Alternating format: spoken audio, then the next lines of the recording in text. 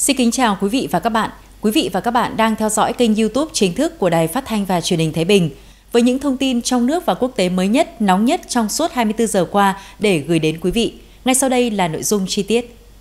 Theo kết quả kiểm phiếu sơ bộ vừa được công bố sáng nay, Đảng Nhân dân Campuchia CPP cầm quyền đã nhận được số phiếu ủng hộ áp đảo trong cuộc bầu cử Thượng viện khóa 5 vừa được tổ chức trong ngày hôm qua. Kết quả sơ bộ do Ủy ban bầu cử quốc gia Campuchia công bố cho thấy CPP nhận được hơn 10.000 phiếu ủng hộ. Tiếp theo là Đảng Ý chí Khmer với gần 1.400 phiếu, trong khi hai đảng FUNCINPEC và Sức mạnh dân tộc nhận được khoảng 250 phiếu bầu. Theo lịch trình, Ủy ban bầu cử quốc gia Campuchia dự kiến công bố kết quả tạm thời của cuộc bầu cử vào đầu tháng 3. Trong trường hợp không có khiếu nại và không tổ chức bầu cử lại, kết quả chính thức sẽ được công bố vào ngày 2 tháng 4, cùng danh sách ứng viên trúng cử và kết quả phân bổ số ghế tại Thượng viện Campuchia khóa mới. Thượng viện Campuchia có 62 ghế, bằng một nửa số ghế quốc hội đương nhiệm. Hoạt động bầu cử thượng viện ở Campuchia diễn ra dưới hình thức không phổ thông đầu phiếu với 58 thượng nghị sĩ được bầu qua lá phiếu của các cử tri. Trong khi quốc vương Campuchia chỉ định hai ghế và hai ghế còn lại do quốc hội giới thiệu thông qua quy trình lấy phiếu tín nhiệm.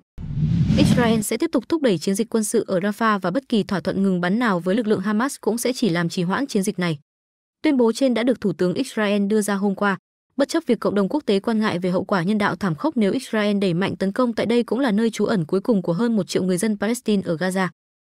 Phát biểu với giới truyền thông, Thủ tướng Benjamin Netanyahu khẳng định tiến trình đàm phán ngừng bắn ở Gaza đã được nối lại ở Doha, Qatar, nhưng bất kỳ thỏa thuận nào cũng không ngăn được việc quân đội nước này tấn công Rafah.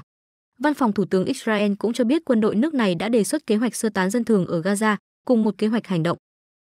Trong khi đó, Bộ Quốc phòng Israel cùng ngày cho biết ngay cả khi lệnh ngừng bắn và thỏa thuận con tin ở Gaza được đảm bảo, quân đội cũng sẽ không ngừng hành động khu vực biên giới phía Bắc nhằm vào lực lượng Hezbollah ở Liban. Những tuyên bố cứng rắn của Israel được đưa ra trong bối cảnh cộng đồng quốc tế vẫn đang nỗ lực tìm kiếm một thỏa thuận ngừng bắn tại Gaza. Theo các nguồn tin, tại Doha, đại diện tham gia đàm phán của các bên đã đạt được hiểu biết sơ bộ về những nét cơ bản của thỏa thuận trao đổi con tin để đổi lấy một lệnh ngừng bắn tạm thời. Tuy nhiên, các nguồn tin của Hamas cho biết vẫn yêu cầu Israel rút quân khỏi Gaza, điều kiện mà theo Avi đến nay vẫn phản đối.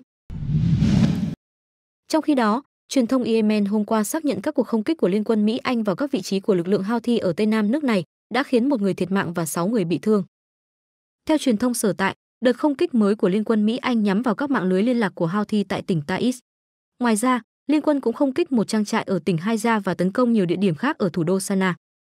Thông báo của Bộ Tư lệnh Trung tâm Mỹ cũng xác nhận đã nhắm mục tiêu vào 18 vị trí quân sự của lực lượng Houthi với mục đích làm suy yếu năng lực của lực lượng này cũng như ngăn chặn các vụ tấn công của HOUT nhằm vào các tàu thương mại quốc tế ở Biển Đỏ, El Bab Ban Mandab và Vịnh Aden.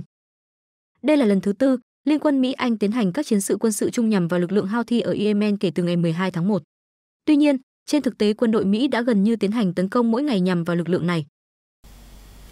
Chúng tôi sẽ tiếp tục cập nhật những thông tin trong nước và quốc tế trên kênh YouTube chính thức của Đài Phát thanh và Truyền hình Thái Bình. Cảm ơn quý vị và các bạn đã dành thời gian theo dõi chương trình trên kênh của chúng tôi. Xin chào và hẹn gặp lại.